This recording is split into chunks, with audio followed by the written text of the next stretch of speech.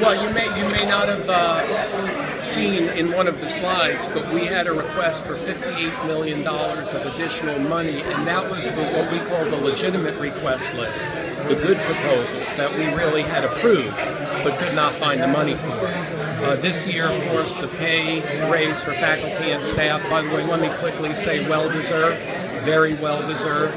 Uh, chews up more than all of the tuition increase. So not only could we not fund the entire slate of worthy proposals, but we've got to find new money from other sources just to pay the pay raise. So it's a very lean budget. We think that 3.25% is uh, prudent. It's something that we hope that our in-state residents could live with. Of course, it will cost more to out-of-state students. So it's about 300-ish dollars a year more for in-state students, three something, and over $900 a year more for an out-of-state student. What are some of those proposals that had to fall by the wayside? Well, uh, we are uh, constantly uh, recruiting and hiring more academic advisors. So that's a plan that we have to uh, accelerate that. We had to kind of put the brake on that a little bit.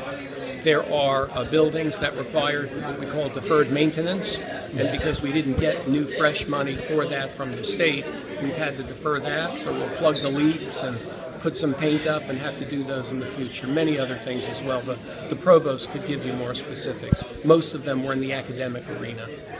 Where you're going to be looking for, for more revenue. We talked about the idea that the, the tuition increase doesn't cover, of course, the increases that were mandated by the legislator. Legislature. What, uh, where do you where do you Well- find those other revenues? Well, you know, it's hard, but I think uh, we'll be looking to uh, export our high quality online educational offerings. Uh, right now, they, we focused on South Carolina. I think it would be an interesting opportunity for us to see how we could serve more students around the country in the online programs that we already already offer in state and see if there's a market for them nationally and even globally. That's one area, and of course, we'll always be looking for ways to negotiate better contracts with food service, with with uh, other vendors to reduce reduce our cost. as well as some increased fees as well. I mean, just the- the There, there have been a few limited fee increases as well, as you heard of today. The other thing is, looking back, going back to 2003, tuition has doubled. The number of students on campus has grown by a third.